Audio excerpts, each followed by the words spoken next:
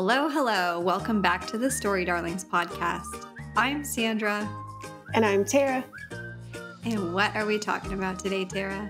We have put the brakes on a little bit and we are going into Tower of Dawn, part one.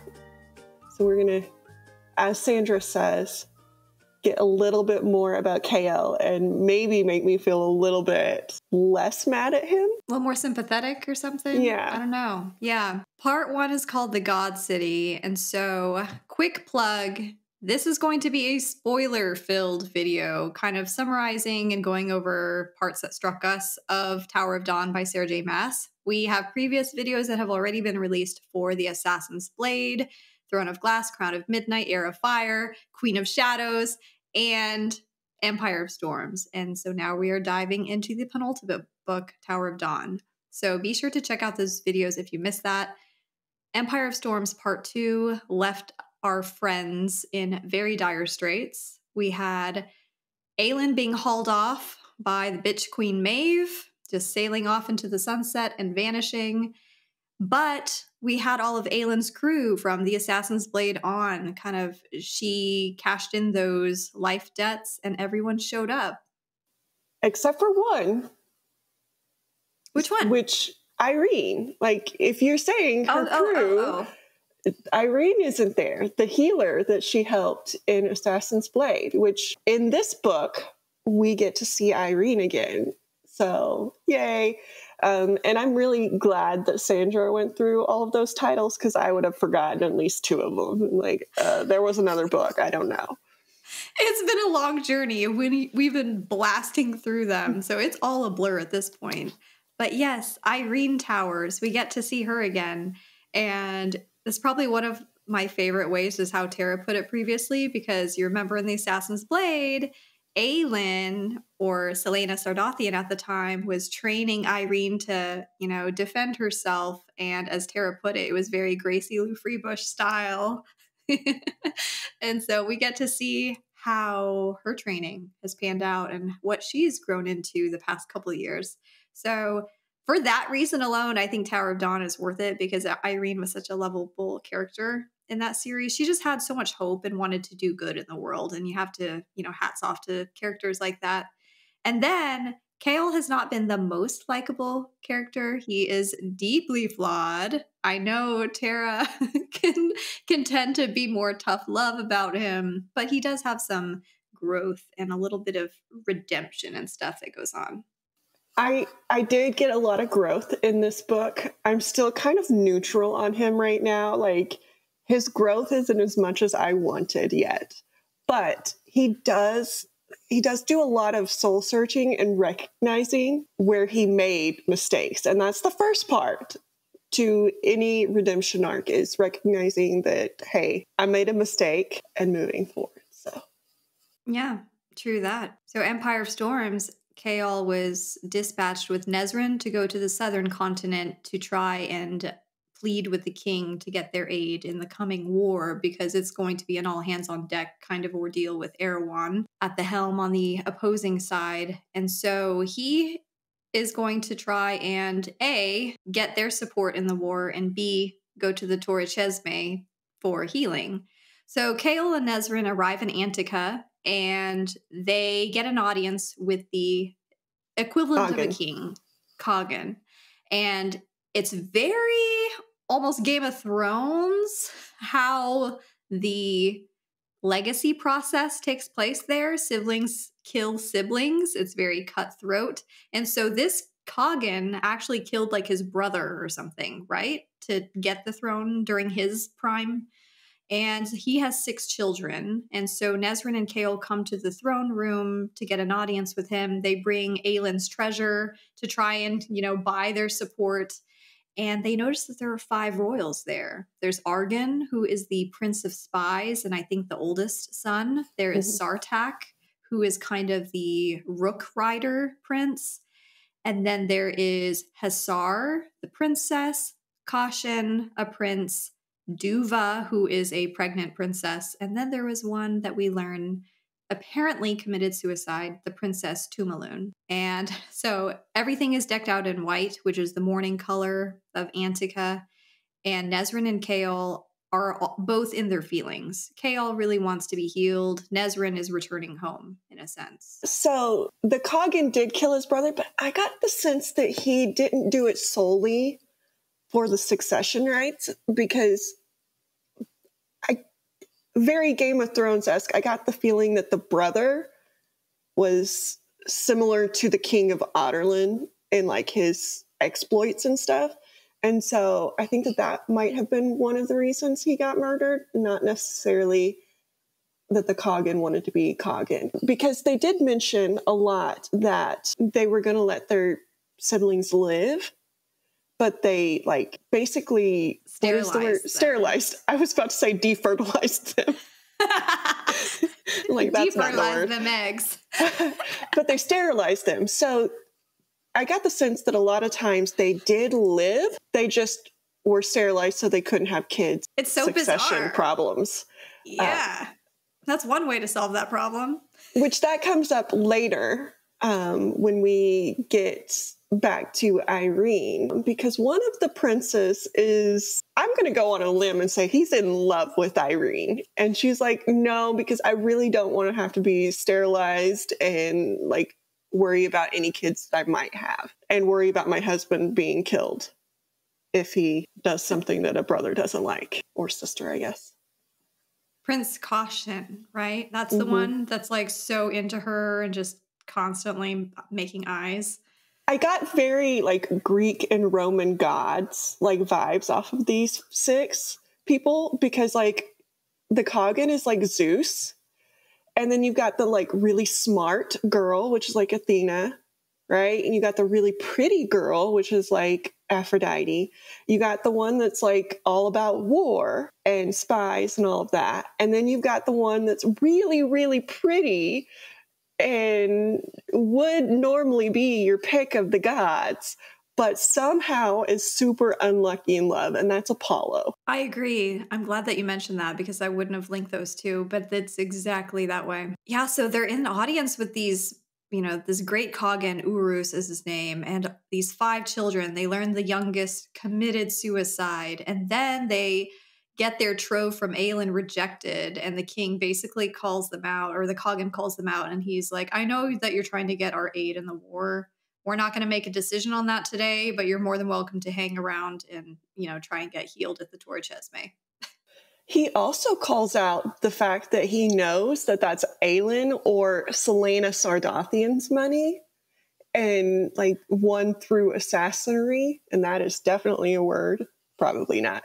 But, um, and so he calls him out that he knows that his king and this is the first time Chaol has heard about this, was basically deposed. And Rifthold is now under Perrington's control and the witch's control. And so Chaol goes like on a rabbit hole of is Dorian okay? Like, where is he? Why would he give this up? What's going on? And it's just sad to see. The audience with the court immediately plummets their their morale and even with Nesryn, because her family was left back there. And you remember Lysandra left. No, she didn't leave her family with Nesryn's family, did she? No, she's in Ren. Terrasen. Okay. Yeah. With what's his name? The leader of Terrasen, Lord something, and Ren and Murtaugh. Murtaugh, yeah. Okay. So we have Chaol upset that Dorian is not accounted for and Rifthold is no longer in the Empire. And then we have Nesryn upset because she doesn't know the status of her family either. And Nesryn is very family oriented. We see throughout part one that she's excited to like reunite with her aunts and uncles and her cousins who are pretty well off as far as society goes here. Like they can afford to uh, hire bodyguards and and that sort of thing. They have like their own little private estate that Nesryn gets to visit. But after this, you know, I think it's basically Chaol taking a hot bath after this to process. Nesryn is processing in her own way. And then we get a scene where we see Miss Yrene Towers because Yrene has been making us proud the last couple years by killing it in her studies. She passed the test with the highest score ever in the Torre Cesme history and so she is basically able to go overseas now and serve as a healer in the war if she wants to. And she does want to very, very much as her sense of revenge in paying back Adarlan for them killing her mother and her family. But the healer on high, Hafiza, is she knows that Yrene needs more healing internally, that she her emotional trauma still has yet to be processed. So she asks her to stay for one last kind of mentor lesson, if she will. You want to talk about it? So, yes, we meet up with Yrene, and she has been tasked with one more healing um, that the healer on high thinks will help her as well. But before that, I want to backtrack to this bath that Chaol took because there is a part in that that I'm just like, it shows you exactly what kind of court we are in, where it's kind of both a utopia and not at the same time.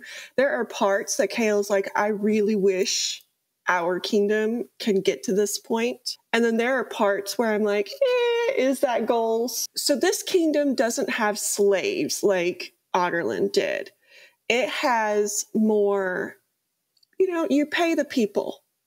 But the people that are servants in the, the palace are expected to do things that normal people probably would think. Eh. So when Chaol is taking his bath, the person who fixed his bath, the servant, tried to give him a happy ending. And he's like, wait, wait, hold on. Like, no, I just want the bath. Like, we don't need to do everything else. So they're expected to keep the royalty and the royal guests happy, which is just kind of creepy in my my mind. We'll, so the servant caught. She did that. Like she offered. Uh-huh. Okay, I have to go back and read that part then because maybe it was like subtle and it just wasn't clicking with me when I was. Well, and they the they make comments after that about she was selected to make him happy and things, and it was heavily implied that it was in sexual ways as well. Mm-hmm. And mm. later on, we see the scene of the party, and again, the servants are expected to keep the people happy in a sexual way. Hmm. Interesting.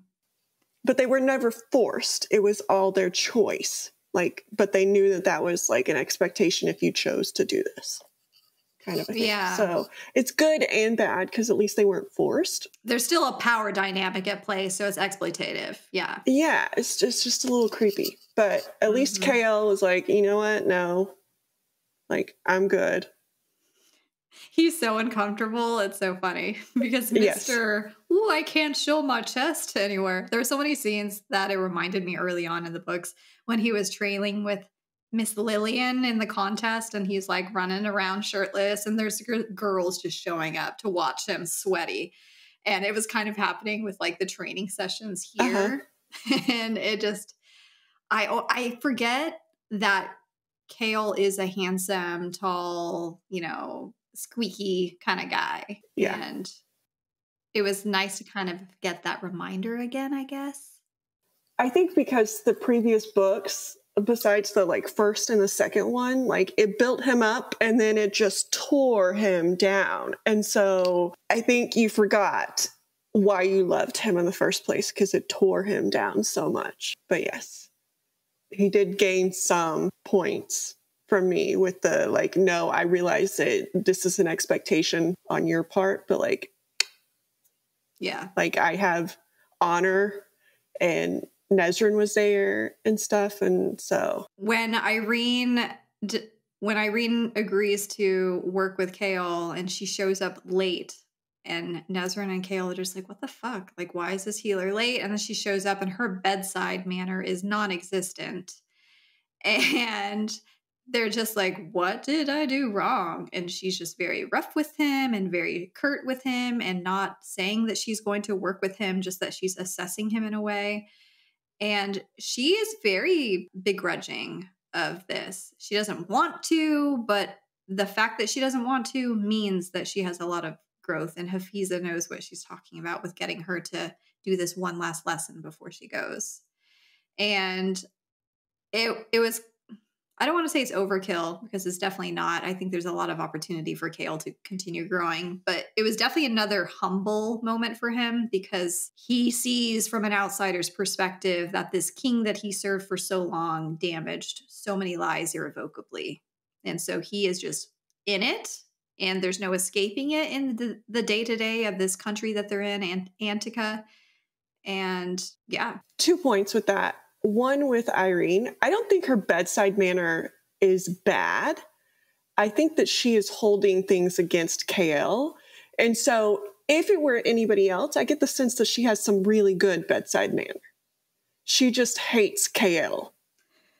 Like with a passion, she hates everybody that stood with the king and his atrocious actions and all of that. And so she is holding that squarely on his shoulders. And for Chaol, I think it's a it's a point where I think he thought he was doing good with inaction. So I think he thought, you know, by not going and killing people, I'm better than the people who did go and kill people. But he is now realizing that his inaction actually caused harm to a lot of people. And so I think that that is something that he is coming to terms with because I think he set himself at a different level than like the king because the king was doing the bad things and he was just kind of there allowing it to happen. So he's not that bad right? But in reality now he's seeing that he could have stopped a lot of bad things and he chose not to. Huge wake up call for him. And as the days go on Chaol and Nesryn essentially are there not just for his healing, but they if they have to be there, they're going to try and get you know more information about what's going on. It comes out that I think it's Prince Kashin who thinks that the younger sister was not did not commit suicide, that she was killed. And we see a scene where Yrene goes to the library to find out more about what's ailing Chaol because the more that she works with him, the more she sees that it's not something of this world that's affecting him, that's in him. It's a very supernatural kind of healing process because she essentially has to connect with him and gets access to his deepest, darkest memories, the things that are eating away at him, literally on the inside. And she gets these bits and pieces of his upbringing with his dad and um, just finding out the story, you know, behind a scar on his face, which it was sad seeing those um, those moments uh, with the young Chaol and what prompted him to leave his family and go to you know the kingdom and embrace his life serving the royal family, um, particularly Dorian. And so she's figuring out more of this, finding out that what has impacted him is not something that is a normal injury and so she goes to the library to do more research on this kind of thing. And there was a very creepy scene where we get to see some of that training that Yrene did, you know, her street smarts and common sense. Which, how many times as a woman have you like pretended to be on the phone or something, walking somewhere by yourself? Oh, like, hey, yeah, I'll see you in just a second. And you're pretending that someone that you know is coming close by so that people stalking you will like go away you know what I mean? Mm-hmm. We get to see those little moments of Yrene in the library when she is being followed by a dark presence and then pretty much trips over a corpse of a girl that looks just like Yrene, hollowed out husk, which we saw in Heir of Fire when Aelin was over there um, with the Valg draining these bodies. And so it's spread here. And now they don't know if it's because Chaol and Nesryn brought it over from the ship or if it was here already. And so now it's becoming very important for this court to figure out what's going on and get to the bottom of it too. Yeah, and this court it has been mentioned multiple times that this is the like superpower basically. This court was the strongest, this court was the one that could turn the tides. So it makes sense that the Valg would be there. And Chaol does share some of the information with Yrene before she goes and starts researching. So she knew what Valg were. She knew um, what they had dealt with a little bit. Um, now, he did not share what the word keys were or the words the the lock or well he doesn't know the lock but the gate the word gate. So she is missing that information but in one of the books she finds it does talk about that. And so she comes back to him and she's like what about these things? And he's like where'd you hear that? Like i didn't tell you that part. Like i left that part out. And she's like it's in this book. And she showed him the book. And something else was mentioned there that i wrote down because i'm like wait a minute. Erawan wasn't the only king that came over. There were three kings. And so she's like, What happened to the other two? Like, are you sure you're dealing with this one? Because it's important. And Chaol's like, There were three? Shit, we don't know what happened to them. And so I have a feeling that was a foreshadowing moment where we're going to find out that either the two are trying to come back or maybe this isn't really Erawan or something. I feel like there's going to be something with three kings. Yeah, I can't remember the name. One started with an O and the other was like Mantek Mantyx or something like that. But it was definitely like a chills moment because Chaol was like, Oh, I assumed that they were just killed or banished. And Yrene's like, but if they're banished and we're dealing with word gates, then it's possible that they're being summoned to come back if they're not back already. yeah. It's like logic would would side with the fact that we might still be dealing with three. Yeah. So now he's they're just like full oh shit mode. So while they're uncovering all of this stuff, like this mystery, whether the Valg have already infiltrated the southern continent, there's a lot of personal growth going on between Chaol and Nesryn as well. We saw in previous books that they had kind of a convenient hookup type of relationship going on since they were already working together, smuggling you know, people with magic blood out of the empire to keep them safe. And we see them start to diverge and go on different paths. So Nesryn is having all the feelings and overwhelm being in her homeland and getting in touch with her roots again. And she starts becoming very good friends with Prince Sartaq, who I love. He's such a friendly, warm character and just seems so apart from the others at court like he's off doing his own thing. And so we see that in Antica, they have their own aerial force, if you will, and they ride these birds called the ruks, which are not as large as the witch wyverns, but they would be able to keep up and maneuver and, you know, and battle in the air and that sort of thing. And Nesryn starts taking trips with Sartaq and visiting, like she goes off to visit another clan or something, is where he's going to go for a couple weeks.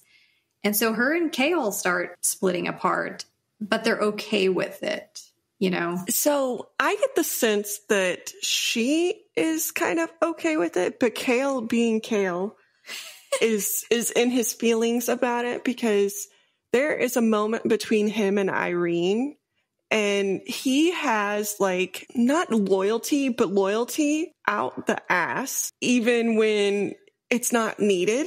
Like to the king, he was super loyal, even though he knew the king was doing bad things, blah, blah, blah. And so he still feels loyal to Nesryn or that he should be loyal to Nesryn. And she's like, it's okay, dude. Like, I understand. But he has feelings for Yrene, I think, and he's hiding those and like pushing those down because he has this sense of loyalty to Nesryn. Doesn't he flat out tell Yrene that he can't because he like made a promise or something to to Nesryn? I feel like he flat yeah. rejected uh, Yrene and Yrene was just like, uh, okay. Yeah, a few times. And then yeah. there were a few times where they got close. And so Yrene is like having this whiplash moment like, okay, like, weren't we just close? Like, why are you now treating signals. me like shit? Like, what's going on here? I feel like Chaol is just feeling very inadequate. You know, he's mm-hmm. stuck on this in this chair. He was always really sure of his skills, training and being captain of the guard, and he's not used to being at the mercy of other people's help. It's hard for him to accept. We see Yrene get this little invention that allows him to go horseback riding it supports him and is able to keep him upright to do that. And we see a little bit more light and joy return to him that he's able to get outside of this chair and be out there and do something like that.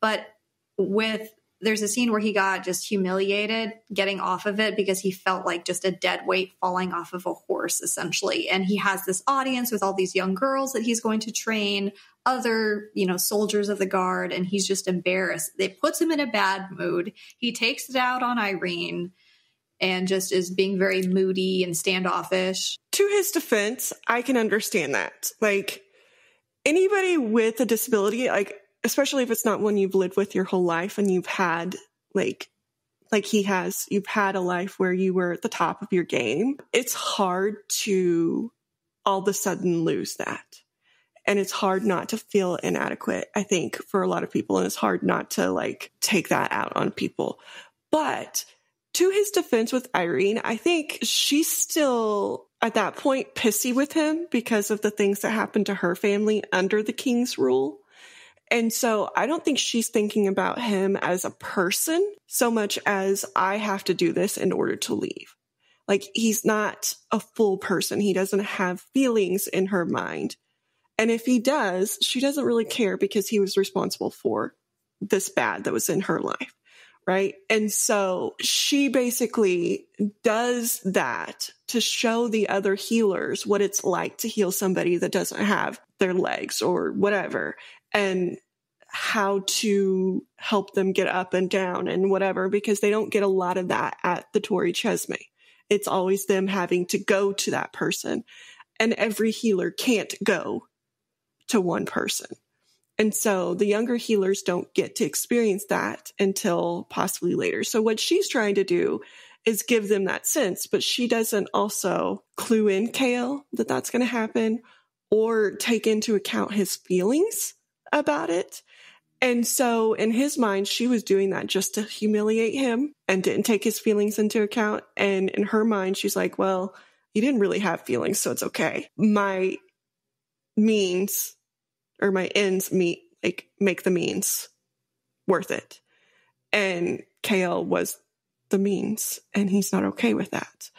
And so I think that they're both just in their own feelings and haven't grasped that each other's feelings are just as valid. It was hard to watch. There was one part in particular when Yrene was like, "Yeah, can you feel anything below this?" Or what about your manhood? Can you does your manhood function? Or and he's just like, "What the fuck?" And everyone's getting kind of like giggly and you know, because it's a sensitive subject. But I mean, she doesn't pull any punches. She just does not read him at all well there. And well, again, I think it goes back to sh- she doesn't give a shit. She's like, I don't really care how you feel. Like, I'm here to do a job. And that job is what's going to get me to do what I want to do, which is to go back to my homeland and help the people there. Like, I'm helping you just because I have to. Like, she wouldn't have helped him otherwise. Yeah she would have been like, nope, you're paralyzed. Just desserts. Like you served a king that did atrocious things. You deserve it. To make things a little more complicated, the Princess Hasar makes forces Yrene to help her spy on Chaol and Nesryn and dig up more information, which Yrene doesn't want to. But the princess basically threatens her if you don't help me, you're not allowed to go to the northern continent to help in the war. So if you want that, then you're going to do this for me, type of thing. However, like I picked up on something with her that I think is going to end up helping in the end because it was made mention that Hasar is head over heels in love with her girlfriend, Renia. And Renia used to be a prostitute and got out of that life because Hasar fell in love with her, right? And so we have Sartaq who is getting close to Nesryn. We have Kashin who is close to Yrene. And yes, he wants more out of it. So we're going to see if he turns into one of those uh, nice guys that's not nice if he, he gets turned down, you know? But he's close to Yrene, who, as we know, Yrene is close to Aelin already. Nesryn is close to Aelin. She has nothing but good things to say about Aelin to Sartaq. Now we have Hasar, who I think because of her connection with prostitute and the fact that Aelin stood up for the prostitutes and Lysandra is with her and things like that. They're going to form a connection there. So we have three of the five remaining children of the Khagan that will have reasons to side with Aelin. Yes. And in, in addition to that, the comment that you made earlier about the society, like the prostitutes and servants, they can, you know, offer themselves up, that happy ending, blah, blah, blah. The fact that Hasar is with a former prostitute that had a terrible time, but it's another way that this society is so different from Adarlan so much more lax and loose. They're less judgmental of how people make a living. And so the fact is, any servant, you know, given the opportunity, can elevate their status by entering into relationship with someone of the royal family. So it's not something that's shunned in this society. So it just shows you another just contrast with yeah. we kind of just skipped over a very well sandra mentioned it but there is a scene right after chaol falls off the horse um, where he is at the Torre Cesme and he is helping with a self-defense class that Yrene leads. And it is funny and i'm not really sure how he has not caught on how Yrene learned these things because they are quintessential Celaena Sardothien moves. But Yrene has been teaching the young ladies of the Torre Cesme self defense because he she told Celaena, who she didn't know was Celaena, that she would, you know, promote her self defense so that other young women could know how to to take care of themselves. And so she has been teaching and everybody is welcome. And Chaol goes and he's helping and he's like, okay, have you covered like stepping on the instep? Have you covered like hitting people in the groin? Have you covered? And she had. And so he's like just helping her move the classes along just a little bit. And it's very funny because again, it's, it's Miss Congeniality up there on stage and all of these girls, as Sandra mentioned, are all about Chaol. Like he's so cute and they're giggly and, you know, all these things. And it's just, you see Chaol from books one and two again, where the girls are falling all over him. He's got a little bit more confidence in himself again because this is something that he knows and he feels good about helping them learn how to defend themselves. Oh, such a cute, fun scene. It was like one of the only bright scenes in this book. Yeah, it was very dark and a lot of it was just political intrigue and what is going on with the Valg behind the scenes because we don't really know what's going on. We just know that they are there and that Yrene is at risk. They are after Yrene because what they assume to be because she is helping Chaol get better, but we don't really know for sure. And so a lot of this book is just Nesryn going off on her own, doing her own thing, meeting up with her family, rekindling that relationship, and then getting to know Prince Sartaq, but under the guise of I'm getting our relations with this court improved. It's like, we see you. We see you, girl. And she's doing a little bit of spying because she's asking him questions about, like, have you heard where Dorian is? Have you heard where Aelin is? And stuff like that. And I think he knows what she's after. Yeah. Because he's the, like, he's the spy king, you know, he's the spy prince. So I think he knows what she's after. And I think he's helping her under the guise that, like, I'm just like flirting with you, but like, I'm trying to help you in a way that like my brothers and sisters don't and my dad don't figure out that I'm helping you. When you see Nesryn with Chaol and Nesryn with Sartaq, why do you think or do you think that they just make a better match? I do like Sartaq better. Sartaq is very Dorian esque, like fun, like easy. And I think Nesryn has enough hard in her life that an easy, like person is better for her. And for the end game, I like that like she's getting more and more people to Aelin's side, even if it's just in a a little way. I don't think we've talked about this near enough, but Nesryn is a badass in her own way. I mean, she had the arrow that they talk about that saved Aelin, essentially, in that battle that went down with the glass palace shattering. And so she is sharp with a bow and arrow. She can take care of herself.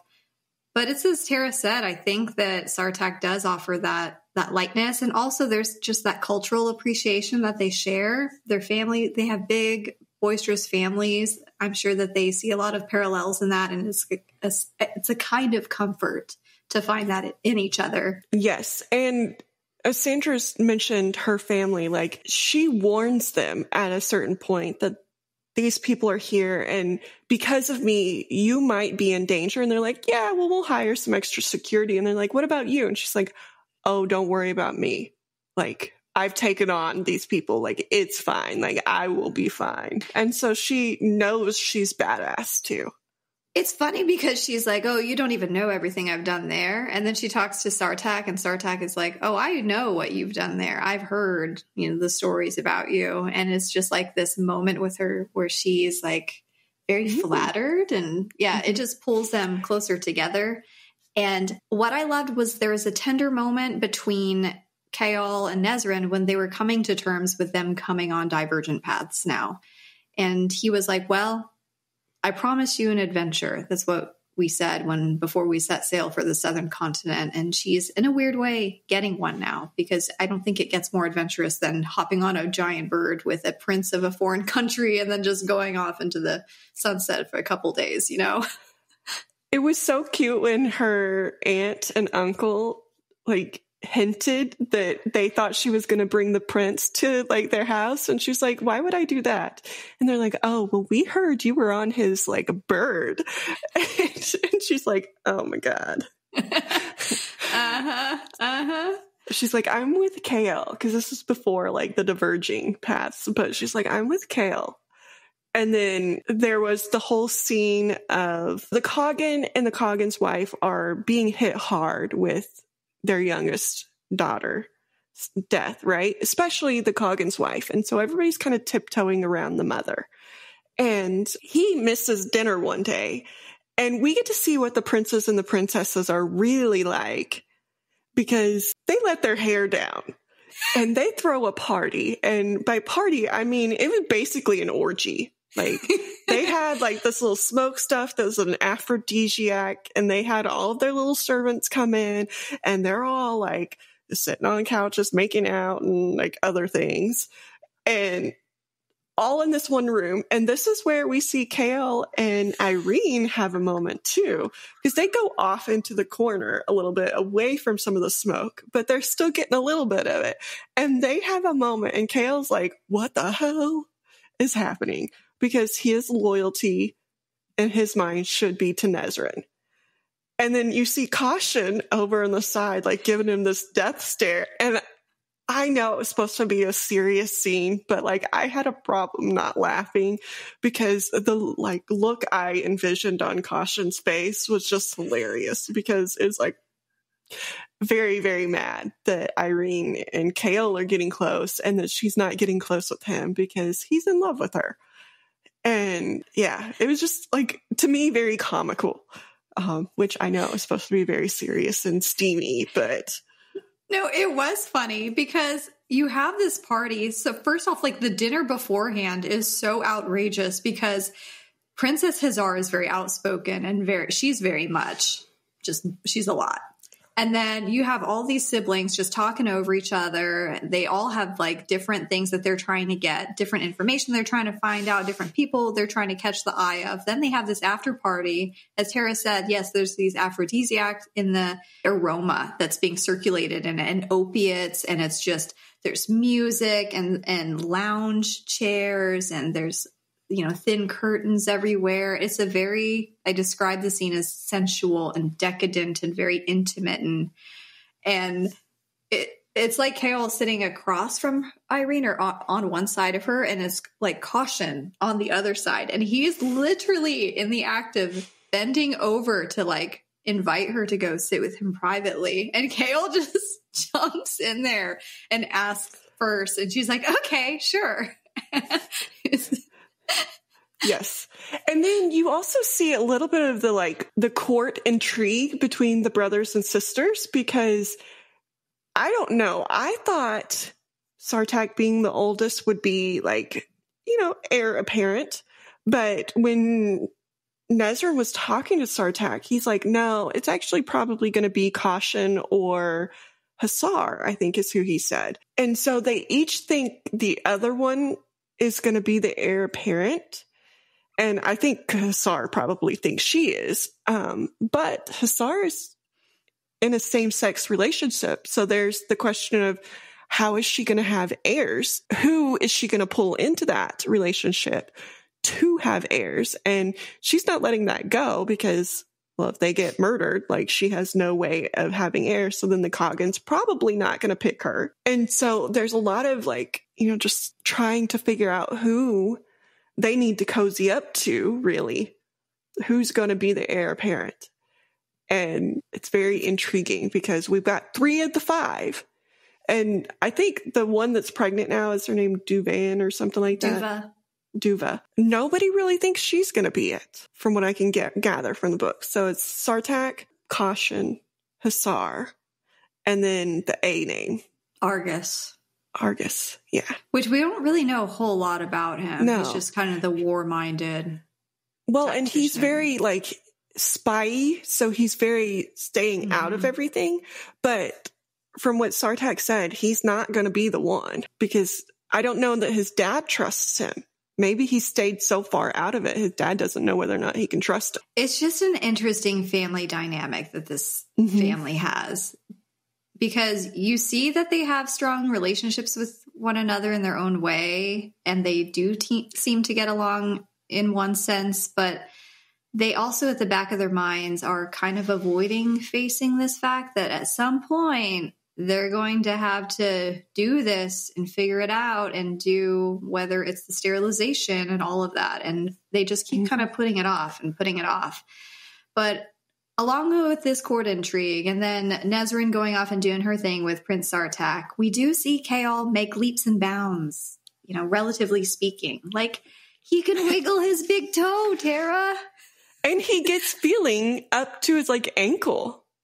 Yes, he's So- making progress, which is He is. so good for him in speaking to the development that's going on with him internally, but also Yrene's ability and her talent, because it's kind of a shared journey for the two of them. They're going down this road together, they're learning about each other, and so it's bringing them closer together and building a trust with them. And there's a moment that you see that trust because as she's healing him, she is taking a lot, a lot of like not damage, but a lot of the burden because she has to fight the darkness that caused this to him. And so she has a lot of physical manifestations of this healing, like bleeding nose and just being tired and passing out. But she hit a point one time where she found him in the healing process and he was stuck in this like horrible, bad, like memory. And so she gave him one of her bright memories to offset that. And so he gets to see her memory as a child with her mother. And it was one of those moments where you're like, okay, she's coming around to seeing that he's not this horrible person that she thought he was. That he was doing what he was doing for a reason that he thought was good. And so they have like they form this little i don't want to say connection but kind of connection of understanding. Mm-hmm. and it was a very sweet memory. And then because you know that you also see the fact that her mother is still kind of there on her shoulder.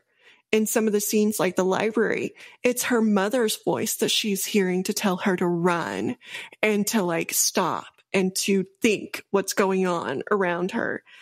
And i mean you also see that with Aelin like she has the the god on her shoulder and lorcan has the god on his shoulder and telling them to do things. And so i'm wondering if that is another person telling her like Mm-hmm. you know another god coming into play here or another like being of some sort coming into play There's a lot of ancient power at play, it seems. And I think they do say at one point that Antica is at least 1500 years old, or at least the library Mhm. is too, which rivals Adarlan's royal library. And the fact that the cal- the castle's built on an old ruined part too, like they have mm-hmm. that in parallel as well. But with Yrene and Chaol getting close, it does put her in danger. So we saw with the library scene, there was a Valg after her that she had to, you know, street smart her way out of to get out of that library alive. You've watched The Wheel of Time. So a little bit. You you remember the Ajah, all the different color Ajah, mm-hmm. and they all practice in this tower. Different kind of yeah. Mm-hmm. This reminded me of that, the Tower of Torre Cesme, mm-hmm. where all these women healers work, um, but they had less ego than the Ajah women. so another, like as you point that out, so Yrene's last name is Towers, and people keep mentioning like, oh, like is that because of this tower? And now that I'm thinking about like the god like thing that I just said about like a god on her shoulder, and you mentioned her mom like mm, like her family is is she a descendant of Silba? Or you know like is that the reason they have the last name Towers? Like is she like Mala's you know like Aelin's Mala's descendant? Like mm. mm-hmm. I think that there's more going on. I think she is more than what we found out so far. And that that also like goes to I don't know that just any healer would have been able to bypass the darkness in the wound that Chaol has. And so again, I, it's just Sarah J. Maas like weaving this like web of intricacies that I would have just forgotten. Like, oh, I had this healer back here in this book five books ago, and you know, blah blah blah. It's just a masterful like weaving together, and I think we're gonna we're gonna get more of that web. Yeah, such a great call out. But we know because Yrene and Chaol are getting close. It may be because of that that she's being targeted by the Valg now. Maybe it is, as Tara just pointed out. Maybe it is because her roots maybe are revealing something important about herself, and maybe that's the real reason why she's being targeted by the Valg. We don't know yet. Maybe we'll find out in part two. But this book felt so foundationally different from the other mm-hmm. books because it was more internalized trauma being explored and healing process and all of that. And then we get these scary moments. So you want to talk about the scene where it's toward the last part of the book, like what's happening with Yrene? So Yrene had just left Chaol because Chaol was being a douchebag. and it was right after they had, like, it was the morning after they had their moment right? The party. Mm-hmm. Yes. And I, I want to talk about something else from the party first. But so another scene that made me giggle a lot in this party is Yrene is supposed to be spying and giving information to Hasar, right? And Chaol figures this out and he's like, here's a piece of information you can give her. Like, tell her that, that Aelin went to Skulls Bay because there's no way in hell she went to Skulls Bay. Like the dude told her he would kill her on sight if she went to Skulls Bay. There's no way in hell. And it made me laugh so hard because that's exactly where Aelin is. And so in his mind, he's giving them the furthest away possible from where Aelin is. But in fact, he's telling them where she is. And I'm just like, oh, even in you trying to do good, Chaol, you are doing horrible. and, and it made me laugh so hard because he was trying. He was trying so hard. How was the guy He was trying to, to be so smart, um, but it, it, did not succeed. Um, but then, okay, so back to the scary part right after this funny part. So Chaol has this moment with Yrene and he's feeling his feelings about it. He feels like he betrayed Nesryn. And so he goes back to his room and Nesryn is gone. She's like, Hey, I don't hold you to any of the promises you made me. Like, and I'm not going to follow those promises either. Like, she's basically like, I'm going to sleep with Sartaq. Like, this, this is, this is going to happen. Right. And so he's in his like feelings. He's like, well, even if you don't hold me, I'm holding myself and like, I blah, blah, blah. Right. And he ends up treating Yrene like horrible, like the worst he's treated her because he feels bad about this. And Yrene's like, what the fuck just happened? Like, why? Like, what, what did I do? Like, last night we were on good terms. Like, what happened? And so she leaves and she finds out that Nesryn like left or whatever. And she goes back. She's going to give him a piece of her mind about him treating her like crap. And she is on her way back. She's fuming. And all of a sudden, her little ghost person over here tells her to run. And she's like, okay, like I'm gonna run, I guess. And so she is hearing somebody following her, and this person's like, you better get, like, move, move your butt. And she's hearing people behind her. And so she starts running and she gets to Chaol's room and she slams the door and he's like, what, what's going on? She's like, go to your room. Go. Like, wheel yourself as fast as humanly possible into your room. And so she's locking the door and somebody like runs into it and bangs on it. And they keep banging on it. Yrene. Yes. And and she gets into Chaol's room and the person like starts saying Yrene and Chaol's like, what do you want? And they're like, Yrene. And, and Chaol's like got his little knife in his in his like lap. And he basically says, you know, like, you need to run like I'll stop, I'll hold them off for a little bit. Like basically saying, I'll give up my life, get out of here. And they end up getting out because one of the maids like walked by and saw the door crushed, right? And sent for Sart or sent for the guards. And the guards come in and when they get there, nobody's there. Like nothing's there. The doors are just busted. Um, and Chaol's like, well, I really didn't want to die. So that's good because I'm not really sure how I would have gotten you out otherwise. And so she sends for kashin.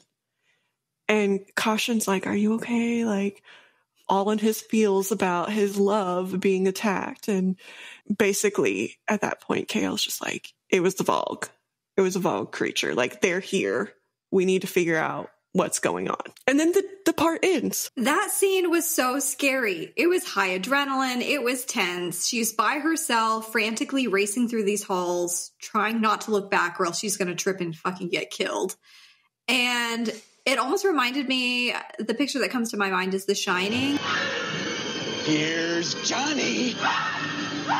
When he's like head in the door and just looks fucking crazy. And every time Johnny. it- yes, every time he's whispering her name and then shouting it. But who do you think it is? Do you think it's somebody?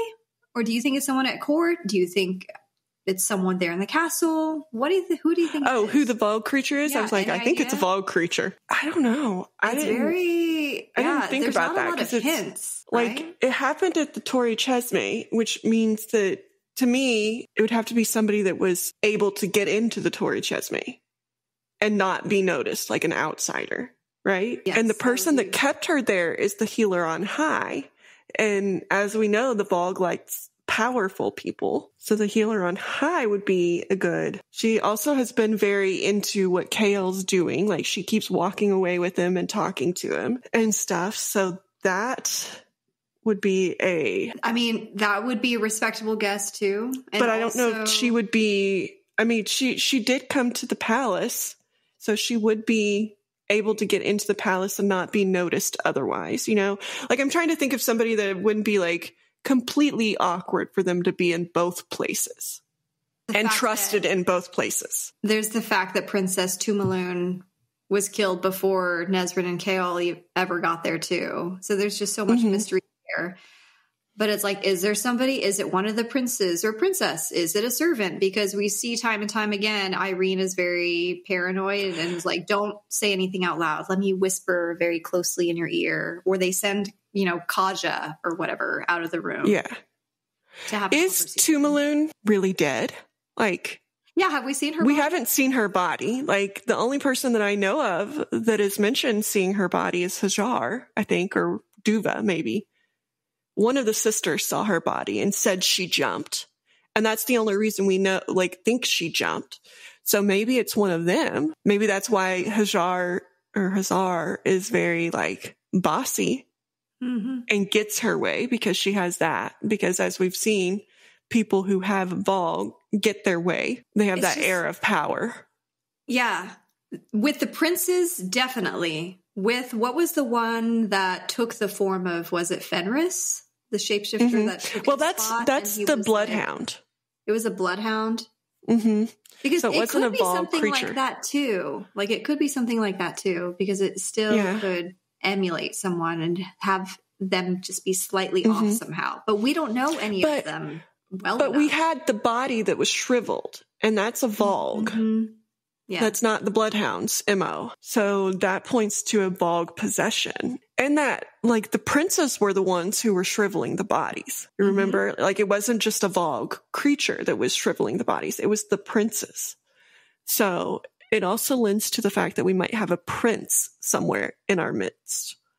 And again, they have to have the higher powered people to like be in their bodies. I know you love a good mystery. It's like what Mhm. would be the what would be the goal of murdering this young princess? You know, Yeah. we really haven't gotten a lot of time with Arghun. And that might be a, a thing for him being it because we haven't gotten a lot of time. Like maybe he's trying to stay back so that we don't sense that he is the Valg. Because, I mean, at least with Aelin, and Chaol doesn't have any magic, but Yrene does. And everybody that had magic could sense the Valg in the people. And we haven't done that, or Yrene hasn't done that. So it also like lends to we don't, we haven't met the person, or she hasn't met the person that has the Valg inside them yet. So it could be somebody like Tumelun that nobody's met yet from our group that she really didn't die. Yeah, that was a good call out. We didn't see her body. We saw everyone mourning for her and the parents being distraught over the loss of her. But yeah, Hmm. Maybe they really didn't lose her and they know it. we will have to see in part two. I have a feeling it's hard for me to remember exactly everything that happens. There were like a few scenes that stuck out, like the library, like the party, all of that. But I can't really remember everything that happens. But you can only imagine that part two is just going to be so much coming to a head because there Yeah. are things going on. This first part, and I know I sent Sandra this text, but like it seemed like it was a lot slower than the other books. Like there wasn't a whole lot of big things going on. You had a lot of like the like mind fuck action. Um, but you didn't have any like big like, oh holy hell, like five pages of out all out like hysteria. It was all just like very slow. yeah, there slow been burn. big battles or revelations, that type of thing. Mhm. Yeah. But I mean, we have the rest of Tower of Dawn left, and then we have Kingdom of Ash, and that is it. And then we say goodbye to to our characters. I have a feeling that Kingdom of Ash is going to be like a fucking race because there is so much that needs to like be tied up that I think it's just going to be like every page is like its own story. I mean, shit, when we finally get to re- return to that story, we're going to see our girl, Aelin, you know, all masked up, boxed up, under. I hope we see Yrene coming with us because like again, I just like the powerhouses. Like we got Aelin, we got Lysandra, we got Rowan, we got Aedion. Like we got some powerhouses on our team. And if Lysandra Ansel, comes there, we have like every like every Silent Avenue. Rolfe, Ansel and her yeah. crew. We've got the 13. the best pirate, the best wyverns, the best magic users, the best like only one that we know of like shapeshifter right now that can just literally be anything. We've got the best of the best of the Fae warriors because we've got Rowan and we got Aedion and we got Gavriel now and possibly Lorcan if he can get a, like his head out of his ass.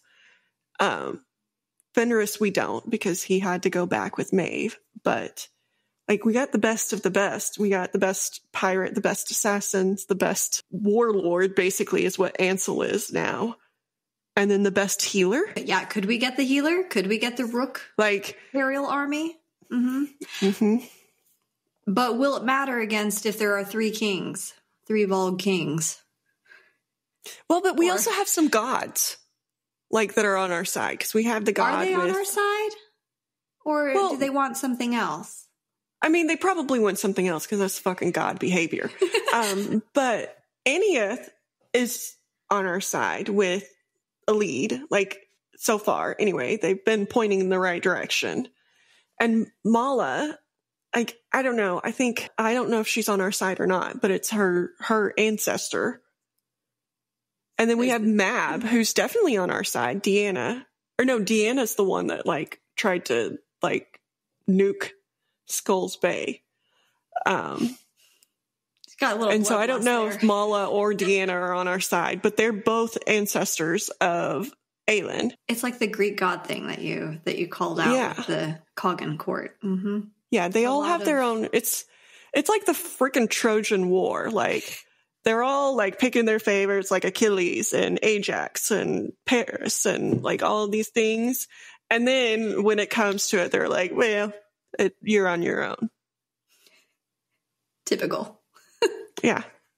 They're like, we're not actually going to do any work to help you. We just wanted to like incite this violence because we we we were bored. That's what I feel like Greek and Roman gods were like. We will see in part two what's going to happen here and who, if anyone, that we have joining the cause. So come back next week for part two of Tower of Dawn. And then we will leap into Kingdom of Ash, the last book of this eight book series. It has been such a journey.